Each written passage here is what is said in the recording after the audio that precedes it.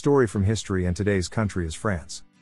The Palace of Versailles is one of the most famous landmarks in France and is a testament to the power and grandeur of the French monarchy.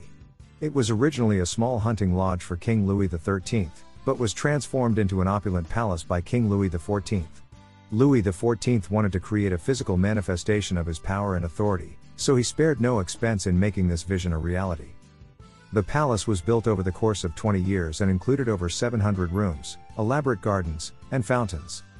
The palace became a symbol of French power and culture, hosting many extravagant events. Today, it is a UNESCO World Heritage Site and a popular tourist destination, but its extravagance also contributed to the downfall of the French monarchy during the French Revolution.